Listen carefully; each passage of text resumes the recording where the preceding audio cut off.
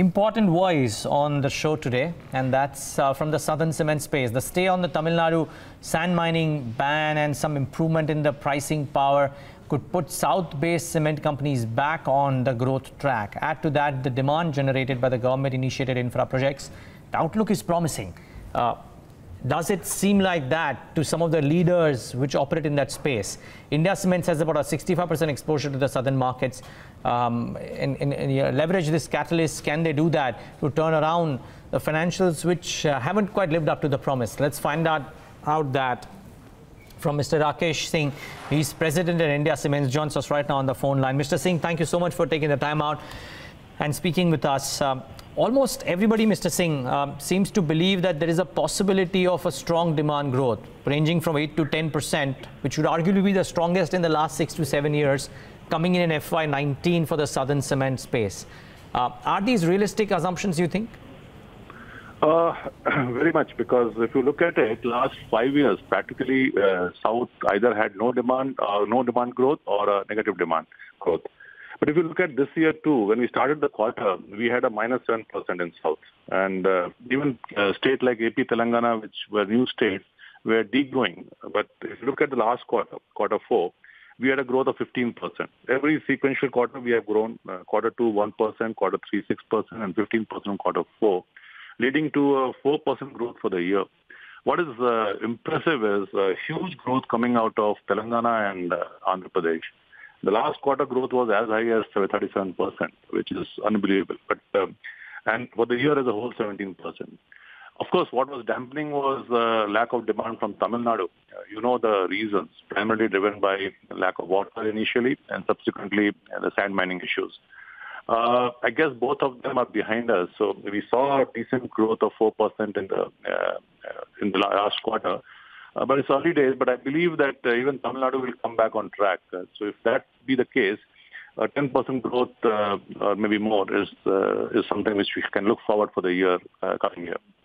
So what's what's the bigger trigger? I mean, uh, is it Andhra Pradesh and Telangana on the back of infra and low-cost housing projects, or do you believe the low base in Tamil Nadu aid to that the fact that monsoon could be normal and the partial resolution of the sand mining ban has happened, therefore that supersedes the demand from AP and Telangana? I know both are important, but which is the bigger trigger? See, one one big uh, uh, trigger was, of course, the AP Telangana uh, initiative, the government's initiative in doing irrigation projects. I mean, one has to see this Kaleshwaram projects of Telangana to believe what they are doing. It is practically they are turning the river back. So if uh, the amount of concrete which is going in is unbelievable, so that is one area where uh, you know the demand is coming from. Uh, unfortunately, the uh, the capital of Andhra is yet to take shape. But imagine if that comes and what the demand will be. Uh, but low-cost housing, uh, the irrigation projects, the road projects, which is slowly taking shape, uh, especially in the neighboring state like Maharashtra. Karnataka is another state where uh, low, roads, low-cost housing, pre-election demand, all that has added up to it. As you rightly said, Tamil Nadu, Kerala is still a dampener. We are still looking at some triggers from there, the lack of governance, the lack of uh, uh, water, lack of sand is all adding up to not a very great demand there. But I believe all, all of that is behind us. We have a stable government there. We have uh, sand mining issue resolved. So we should see on a low base a better growth coming coming months and quarters. Uh, but what we have to look forward is the you know the multiplier effect of all these projects which are happening. So I believe that the uh, housing project, house, individual houses also will start coming up, and you know we'll see much more demand coming from south. So we are quite bullish as far as demand uh, side is concerned. Would this entail your your utilization levels uh, moving up northwards of 60, 65% as well? Because that's something that people are pricing in from the current numbers that you may be at. I mean, brokerages, yeah. when I look at them or read them, they may, or Nikki, my analyst, was telling me that the expectation yeah. is that you will probably not 60, 65% even in this scenario. It might be difficult to go beyond that. What will your thoughts be? Uh, if you look at quarter four, if that is an indicator, the industry operated at 68%. Uh, and whereas, you know, uh, for the year as a whole, we were uh, very close to 60%. So that 55% has moved to 60% slowly but steadily. Uh, having said that, now look at where the demand is coming from. Demand is coming primarily from Andhra, Telangana. So what you will see, actually you will not see one composite south. You will see south of south and north of south. And you will see the north of south companies, especially people who are in the Telangana uh, plants and the Andhra plants, will start doing much better in terms of capacity utilization as compared to the plants which are uh, uh, located in Tamil Nadu. Fortunately for India Cement, we are we have our biggest four plants in uh, in Andhra, Telangana. Okay. No, so you would you, you mentioned this 60% for quarter four. That was for the industry. For for India Cements individually, do you reckon that 60, 65% or northwards of that utilization levels uh, uh, might become in a? Fact, in quarter four, we did 70%. Oh wow. Okay. Okay.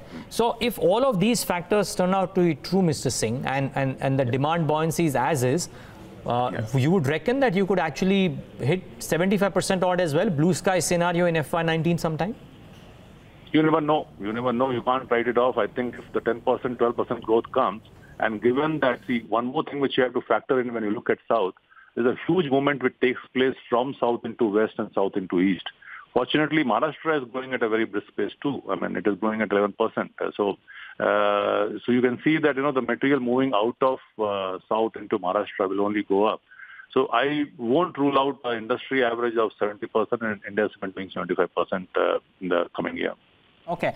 Uh, I have two last uh, questions, or maybe one. Um, you know, everybody believes that for India Cements individually as well, maybe for the industry too, that profitability will not be a factor of the pricing, but will be a factor largely of volumes. And then, of course, I mean, operating leverage come into play because your capacity utilization levels move up, maybe improved revenue mix for companies such as yours. Again, correct assumptions, or do you believe pricing, which has shown a marginal uptick in the month gone by, could actually head higher too? I personally believe in a commodity, pricing is the most important thing. Volume, uh, of course, will come as the demand comes in. But you know the pricing uh, power, which is right now not with the manufacturers, is very very important uh, for you know companies to make profit. So I think, and and uh, we are on the right track, is what I believe, because it's it's a busy season. The demand is good. Uh, this is the time when prices normally move up. We have seen some uh, marginal improvement in April. I think the trend is positive. So the companies uh, in southern hemisphere will definitely make better profits as is go it, by. Is it possible to predict FY19, Mr. Singh? Pricing, average pricing FY19 higher than what was average pricing FY18 for sure? Uh, 100% it better be because the costs are also going up. So I think the pricing has to be much, much better because costs are substantially up uh, in, term, in, the, in the back of pet coke and coal prices going up. So we better have a better price uh, for companies to make a decent profit. If that were not to happen, would there, could there be a squeeze on margins? Uh, of course, the pricing, as I told you, the pricing. No, I mean, I'm just asking because of the cost pressures. I mean, are you seeing cost pressures looking so severe that unless prices move up, there could be a squeeze on margins? Not just for you, for the industry, I mean. No, no, we are talking about the industry as a whole. But if you look at it, what has uh, what has come in is cost of pet coke has moved up and moved up for pet coke or coal, whatever everybody uses. It's mostly pet coke and imported coal what we use, and it is again dependent upon the crude and the ocean freight and things like that. Now, if if that is that is definitely moving up. So we uh, you know from a lows of seventy dollars, it is now to 110 120 dollars uh, a ton. So given this, uh, uh, cost pressures are definitely there. But I believe that the, uh, given the demand scenario, given the equations in the market, the pricing will be far better than what we saw in uh, FY18. So uh, we should be able to make up more than um, what we are going to lose on the cost front.